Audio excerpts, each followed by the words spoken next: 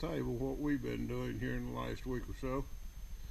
Our old sawmill power unit went down and I decided to rebuild it and that's what we're into right now. It's a six cylinder. They call this a 671 Detroit and it's a, actually a two cycle engine like a chainsaw or something. Here's the liner and you can see right there. That's got holes in it. And uh, as the piston goes down it fires and goes down. And when it passes this holes this is under air pressure. It's got a blower on it. And when it passes them holes that air pressure enters that and it blows the exhaust out the exhaust valves. And then it'll come back up and fire again. It fires every time it comes up. And uh, these is the pistons and you can see they've got rings on the bottom of the skirt and on top too. They really don't even have a skirt. It's just a big old piston. And they've got plugs right here. So air can't when that's coming down if that plug went in there it, it would it won't work right. I had one of them come off one time and it was it smoked to high heaven. And uh, we're going to put new pistons in. It the old motor wasn't in bad shape.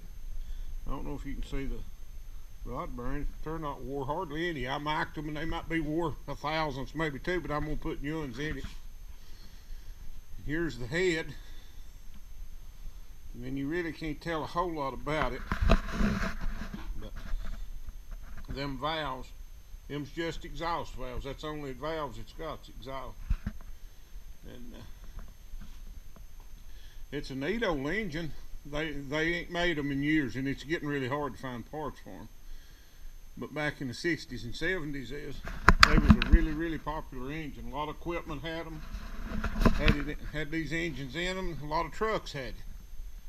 I had a GMC Brigadier log truck, and it had a 671 Detroit in it. And the reason they call them 671s, each piston has got 71 cubic inch displacement. So it's six cylinder with 71 per hole, basically. And they made different versions of them. They made a V8, it's called a 318. And they even made a V12. And uh, it, it would run pretty good up and down the road. These old these old 671s didn't have much power used just had to go a changing gears and had very little torque. I imagine because there's a two cycle engine, the torque just wasn't there. You had to keep them revved out of their mind all the time.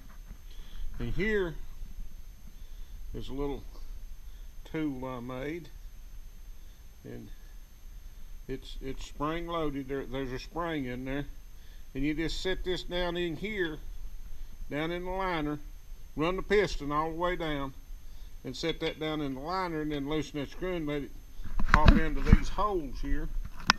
And then when you turn the motor and raise the piston up, it'll just bring that liner up out of there. Works real good. I started to film me making it, and I was afraid the thing wouldn't work, so I didn't. But I should have. For we made it here on this turning lay. Turned it out on it, and then this little milling machine here, I'll keep it covered up. It, uh, there you can kind of see it.